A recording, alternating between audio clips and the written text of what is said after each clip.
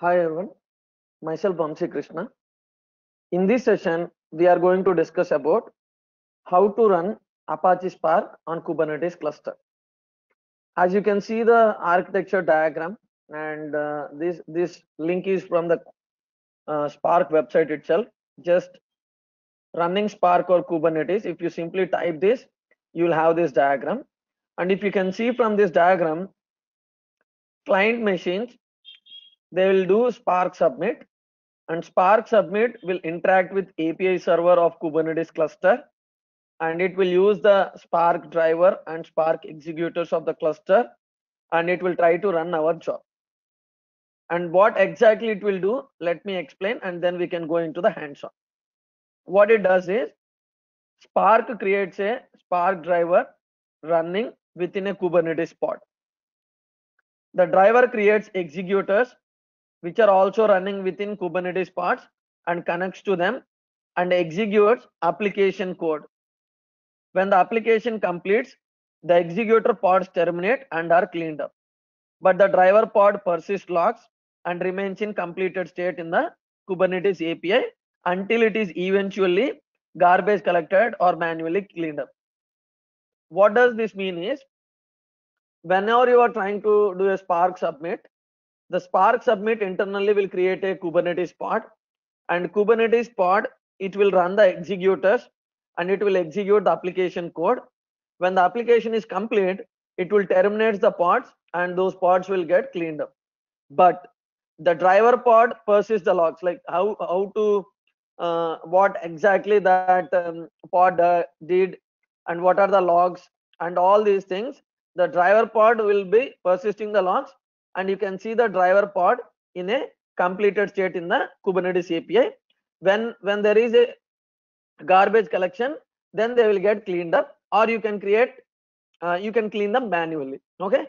This is how it is supporting uh, Spark submit on Kubernetes cluster. Now first let me explain the architecture or let me explain the setup which I have with me. Then we can see uh, how to do this Spark submit practically. Now this is my readme file. You can go to github.com, cloud tech master, spark submit EKS Kubernetes cluster. I'll mention this in the YouTube link also. Here I have mentioned the precise instructions, how to create a cluster, how to do the setup, all these things. Now first let me show the setup which I have. And for creating EKS cluster, you can refer my other videos. Let me show the setup which I have with me. I have Java setup already and I have Maven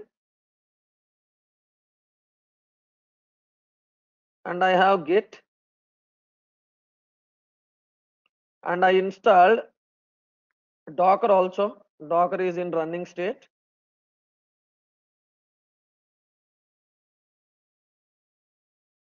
Docker is running and I have a two node EKS cluster kubectl get nodes how to create a cluster you can refer my other videos where i have shown how to create a eks cluster. And if you see this i have all the setup ready with me. Now what i'm going to do is i'm going to clone the project and i'm going to build a spark java project which will give me fat jar. And using that fat jar i'm going to deploy spark submit on the kubernetes cluster. Let me go through the readme file and uh, we can execute the steps one by one these are the steps. I have mentioned how to install java git maven docker eks cluster and i am starting from here. Once you have the setup ready with you you need to download apache spark. I am using 2.4.7 let me go to opt and let me go to spark 2.4.7 this is the folder which i already have. Now what you need to do is you need to go to spark main directory and you need to build a docker image out of your spark folder. So that when we are trying to execute spark submit on kubernetes we are going to use this spark image. And one more thing there are two ways of uh, spark submit. One is cluster mode and another one is client mode. Right In cluster mode, the Spark driver runs inside the application master process, which is managed by on on the cluster, and the client go, go away after initiating the application. In client mode, driver runs in the client process and the application master is only used for requesting resources from an meaning if you are running anything in client mode definitely the client should be online and it should be in touch with the cluster if your client machine is far from the worker node then we can use cluster mode okay? If our application is in a gateway machine which is quite close to the worker node then we can use client mode. If our work if our uh, gateway machine is far away from the worker nodes then we can use cluster mode okay? Now if we are planning to use client mode the jar will be available on the same machine. You don't want to do anything. If you want to do in cluster mode we need to build the fat jar and we need to move our fat jar to spark jars folder. Let me show what i am speaking. Let us go here. Let me take my code what i am trying to build.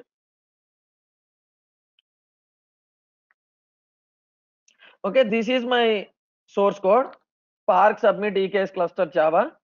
Inside this code i have written a main class. Let me show you that main class. What does this main class does is this main class is creating a spark session and i'm printing the spark version and i am just printing list okay? When i execute this main class through the spark submit command it should show me which version of Spark I am using and it will print as 1, 2, 3, 4 which is present here, right? First what I will do is I will execute this program manually and I will explain how Spark Submit is working. Once everyone is clear with Spark Submit with local mode, right? Then I'm going to replace this with Kubernetes Spark Submit, okay? Let me clone this project. Let me go here, clone this project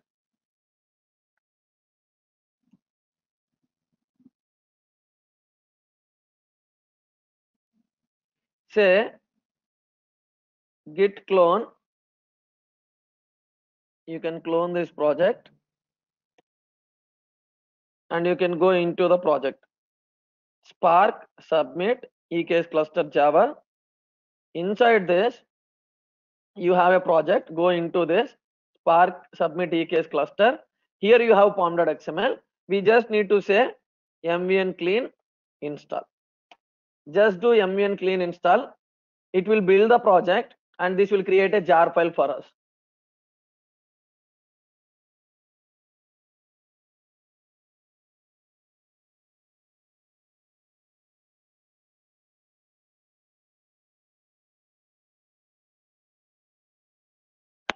Perfect. It is creating a jar file. Perfect. We will see this target directory. If you can see the target directory, you have a jar with dependencies jar, which is nothing but fat jar. This is coming because of Maven assembly plugin, which I defined in the pom.xml. See this? I use Maven assembly plugin so that it will create a fat jar. Fat jar is nothing but which contains all the dependencies as a jar. Now, first I will show how to execute Spark submit. You can see my command here. I need to use Spark submit hyphen hyphen master and uh, I am assuming this jar is there in root. Let me copy this target uh, jar file to root. Copy. This is my jar file. I'm copying it to root. Fine. This is done. Now let me go to Spark folder. Okay. I'll go to my Spark folder cd slash opt in OPT, I have Spark uh, 2.4.7. Here I will go here and I will go into bin folder. In the Spark bin, I have Spark submit command. I'm going to run this in Spark submit. You need to mention dot slash. I'll add that also here. You need to mention dot slash. Copy this dot slash okay dot slash run this Perfect. Your Spark submit is running and uh, it is printing this one. See, you are using Spark 2.4.7 and it is having 1, 2, 3, 4. This is the code which I have written. Let me show you the code also. Click on this Spark submit EKS cluster, SRC, main, Java. See, this is what I have written. You are using Spark version. In my case, I am using Spark version 2.4.7 and I am printing the list which contains 1, 2, 3, 4. It is working as expected. This is perfect, right? Now, this is without Kubernetes. Now, for the same application, I want to run the same Spark submit with Kubernetes cluster. In that case, what happens is, whatever the instructions I have, right? This master will be replaced with Kubernetes API server. And the deployment mode will be client or cluster. It can be anything. And I'll be adding extra parameters as per this documentation, right? First thing what I need to do is, I need to build a Spark image. For that, I'll go to the other workspace. We can start creating those steps. Now see here, we need to go to Spark main directory. Let us go to Spark main directory. We are here. And then we need to build docker build command. But before doing docker build, whatever the jar file you build sometime before, copy that jar file to the Spark jars directory root.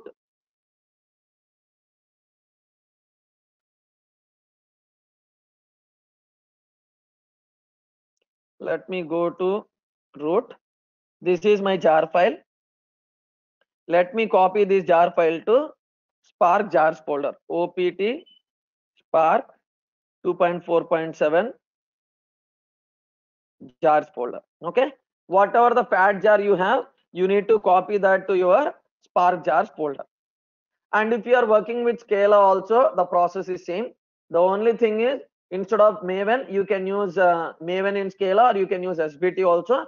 Just copy your fat jar, whatever the jar you get as output of your Scala project or Java project, copy that to Spark jars folder.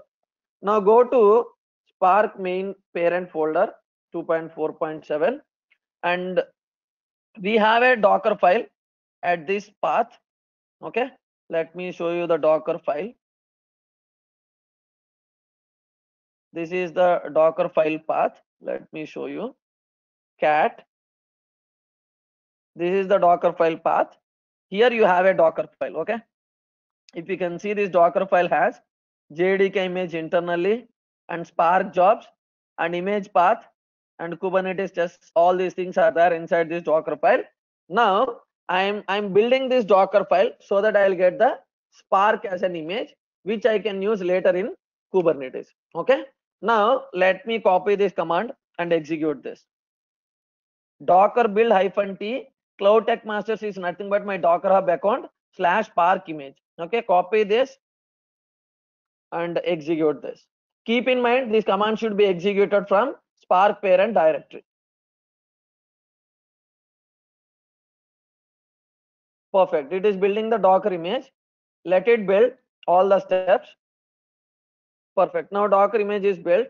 Now you can see docker images. Now we have the docker image. This is the one which I built now, right? Cloud Tech Master, this one. Now you need to log into Docker Hub and you need to push this image to your Docker Hub. Docker login and uh, in my case I already logged in and now I need to push Docker push my image is Cloud Tech Master slash Docker Hub this one slash latest done. Now I am pushing the Docker Hub uh, this image. Let me show you the image in Docker Hub. Docker Hub. I'll show you the image.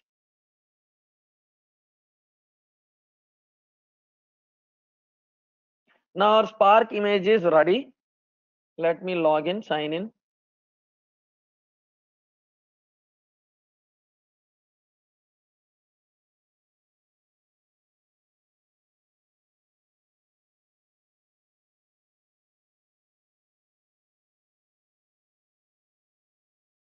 Now, if you see, updated a few seconds ago, my Spark image is ready.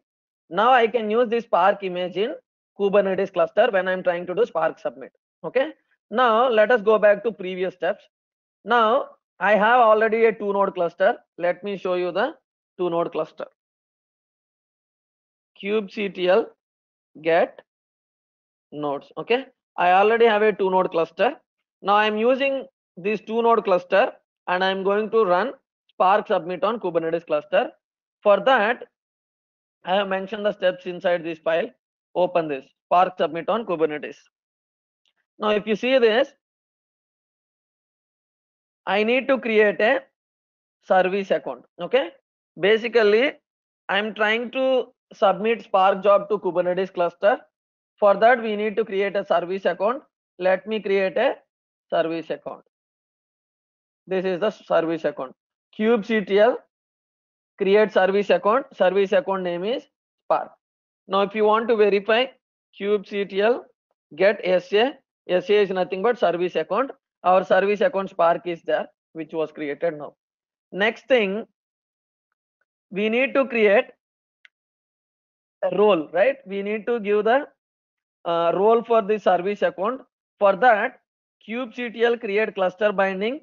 My role is Spark role and hyphen hyphen cluster role edit. I'm mentioning the service account default colon Spark and the namespace is default, right? Copy this command and execute this. Now this cluster binding role binding is also created. If you want to verify kubectl get cluster role binding. Okay, you can see cluster role binding also.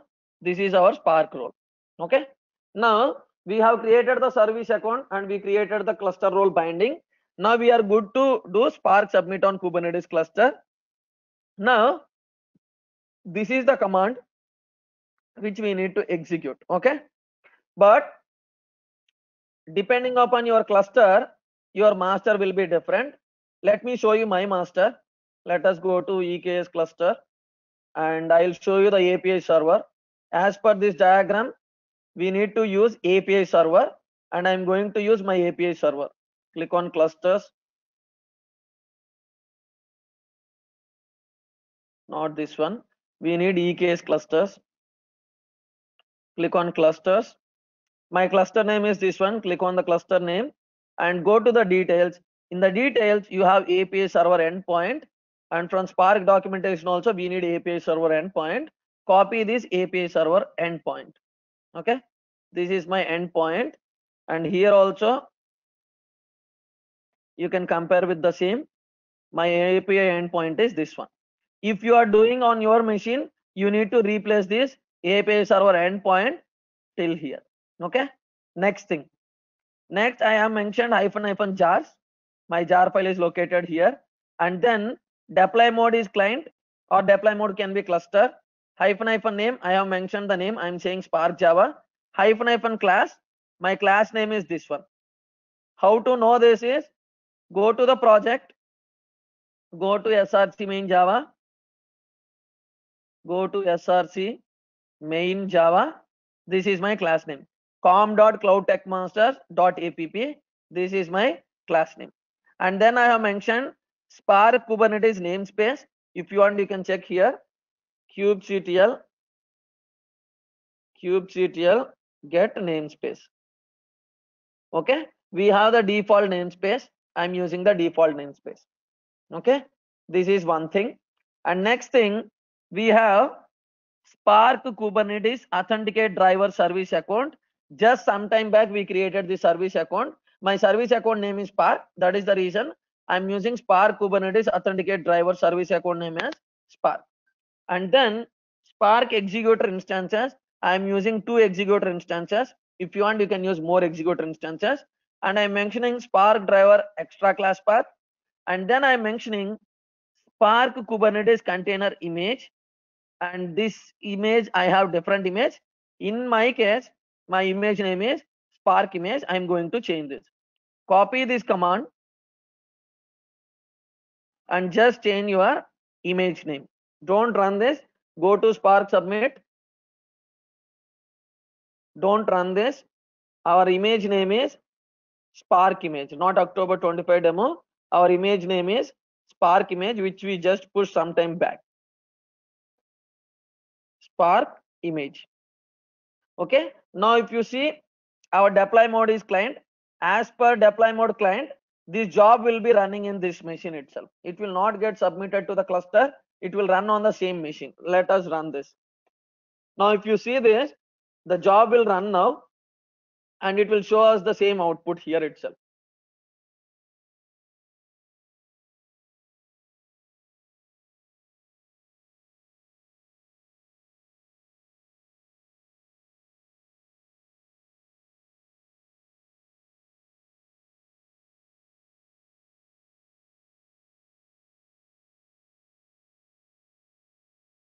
Okay your spark submit is running.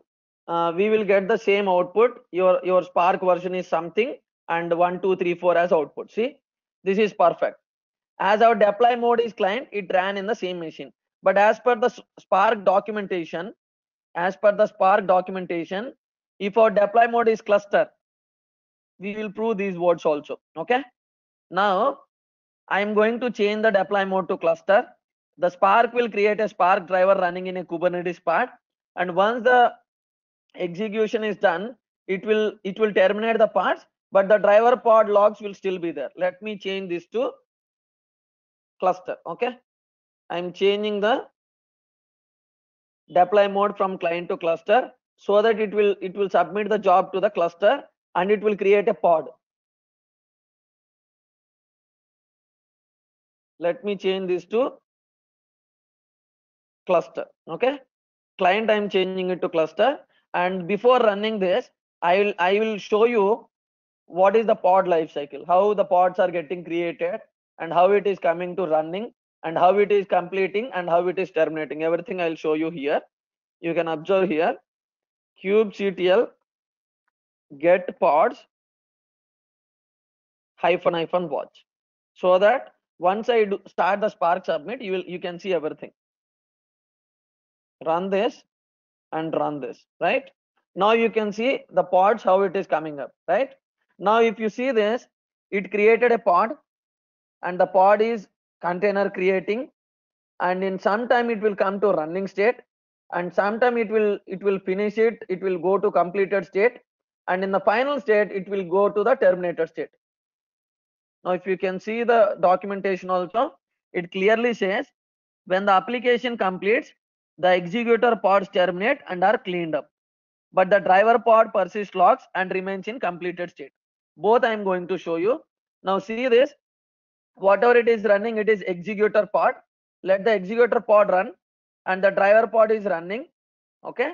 Once the spark submit uh, is finished executor pods will get terminated and removed. Driver pods will still be there. Now see it is terminating terminating, right? Our executor pods are terminated and our driver logs are completed. You can see this, our driver logs are completed, our job is also finished. Now let me show you the driver pod. kubectl get pods.